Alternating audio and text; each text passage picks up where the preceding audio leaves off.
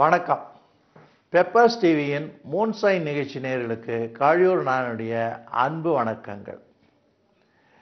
இந்த ஜோதிட சாஸ்திரத்தில் ரொம்ப அதிகமாக பயன்படக்கூடியது கிட்டத்தட்ட எழுபது விழுக்காடு பயன்படக்கூடியது இந்த திருமணம் திருமண சம்பந்தமான விஷயங்களுக்கு தான் பயன்படுறது. இது விவாக பொருத்தம்னு சொல்லுவோம் திருமண பொருத்தம்னு சொல்லுவோம். இந்த பொருத்தம் பார்க்குறவங்க தான் அதிகமாக ஜோதிடத்தை பயன்படுத்துகிறாங்க ஜோதிட சாஸ்திரத்தில் சில பேருக்கு நம்பிக்கை உண்டு சில பேருக்கு நம்பிக்கை இல்லை. சில பேருக்கு நம்பிக்கை இருக்கும் ஆனால் அது வெளிப்படையாக சொல்லாமல் மறைமுகமாக தெரிஞ்சுப்பாங்க. எது எப்படி இருந்தாலும் ஒரு விஷயம் என்னன்னா திருமணம்னு வரைச்ச நம்பிக்கை இருக்கிறவங்க இல்லாதவங்க ஜோதிடத்தை விரும்புகிறவங்க விரும்பாதவங்க நம்புறவங்க நம்பாதவங்க அது வந்து போகிறதுக்கே தயங்குறவங்க எல்லாருமே தவறாமல் செய்யக்கூடிய காரியம் என்னென்னா திருமண பொருத்தத்தை கெட்டுப்பாங்க. நம்புறவங்க நேரடியாக வந்து கேட்பாங்க.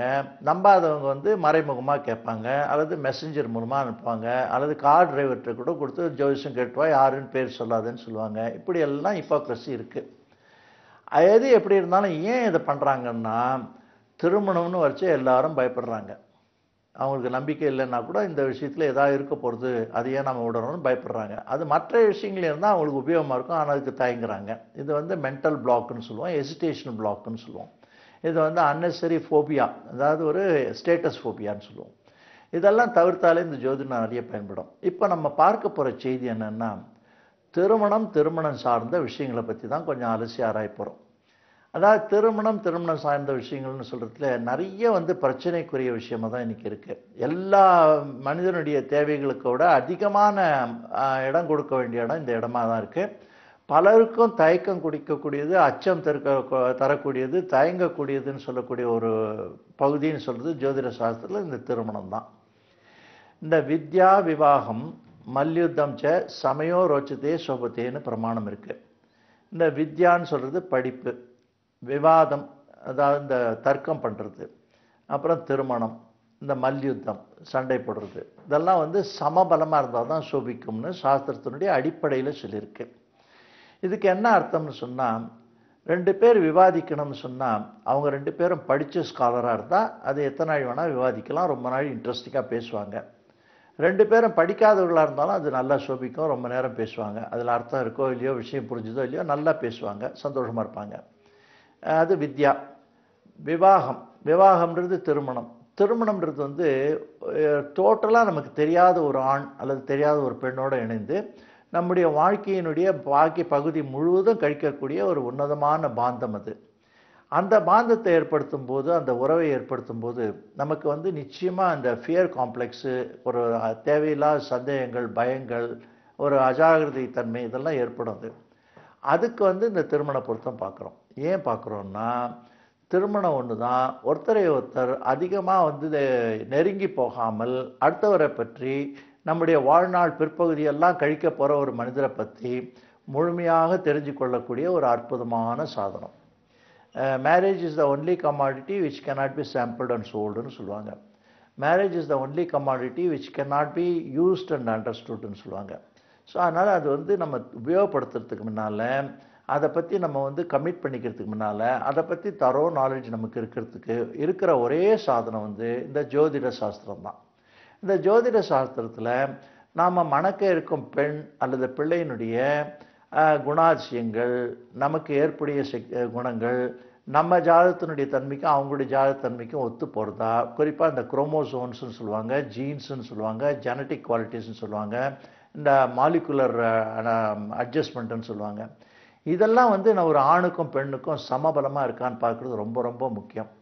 விவாகத்துக்கு ரொம்ப ஒரு ஷார்ப்பாக ரொம்ப ஒரு கிரிட்டிக்கல் பாயிண்ட்ன்றது ரெண்டு இருக்குது ஒன்று வந்து உள்ளத்தாலையும் உடலாலையும் அவங்களுக்குள்ள இணைப்பு இருந்தால் மற்ற எந்த விஷயம் குறைபாடு இருந்தாலும் அந்த விவாகம் ஃபெயில் ஆகாது.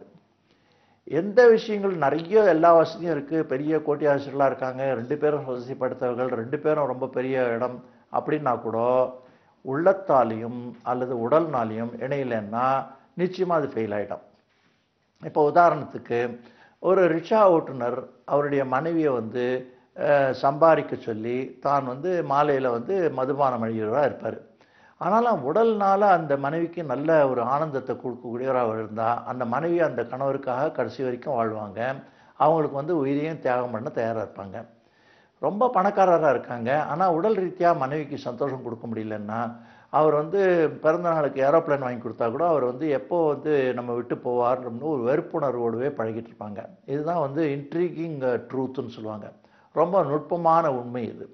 அந்த மாதிரி விஷயங்களில் வந்து நம்ம முன்ஜாகிரதையாக ஜோதிஷம் பார்த்துட்டோம்னா வரப்போகிற நம்முடைய துணையினுடைய குணாசியங்கள் அடிப்படை தன்மைகள் உடல் கூறுகள் உடலுடைய சக்திகள் இதெல்லாம் ஆராய்ஞ்சி அதுக்கப்புறம் திருமணம் பண்ணிட்டால் அது நிச்சயமாக ஃபெயில் ஆகாது.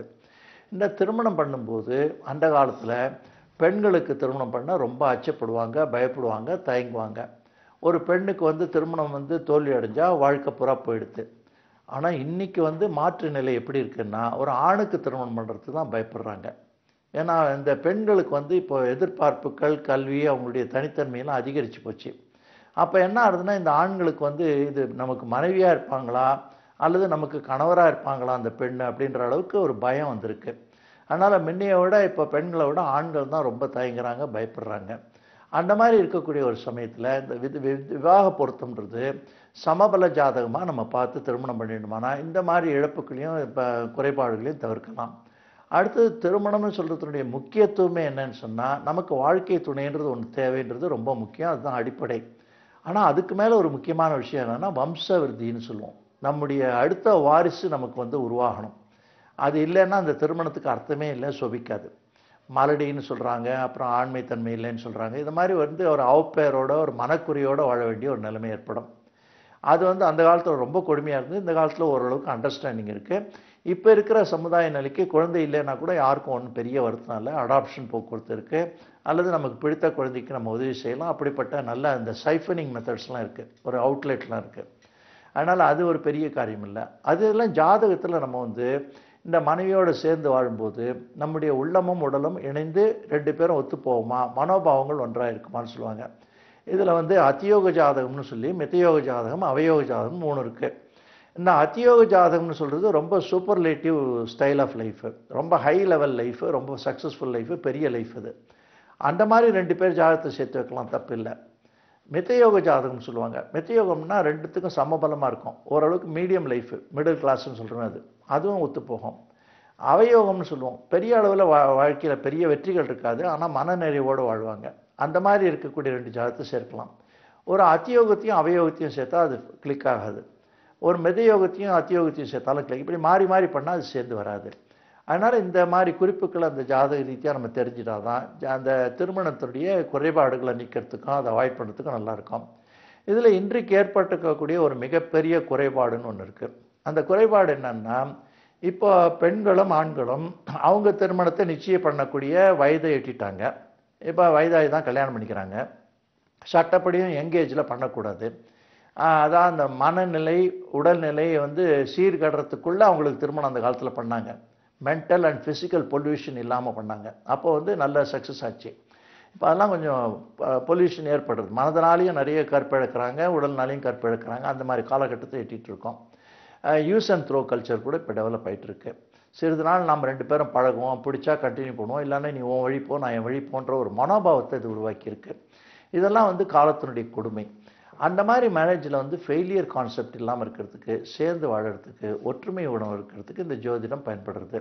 அந்த ஜோதிடம் பார்க்கும்போது முக்கியமாக மூணு விஷயம் பார்த்தா போகிறோம் ரெண்டு பேருக்கும் ஆயுஸ் இருக்கா? தாம்பத்திய சௌக்கியம் இருக்கா? குழந்தை பிறக்குமா? அதிர்ஷ்டம் இருக்கான்னு பார்த்தா போகிறோம் மற்ற இந்த தசவீத பொருத்தம்லாம் ரொம்ப அடிப்படையை பார்க்குறவங்க தான் பார்ப்பாங்க. அது முக்கியமே இல்லைன்றது நேயர்கள் புரிஞ்சுக்கலாம். இப்படிப்பட்ட நல்லதொரு இனிய செய்தியோட மீண்டும் உங்களை நாளை சந்திக்கிறேன். அதுவரை நன்றி வணக்கம்.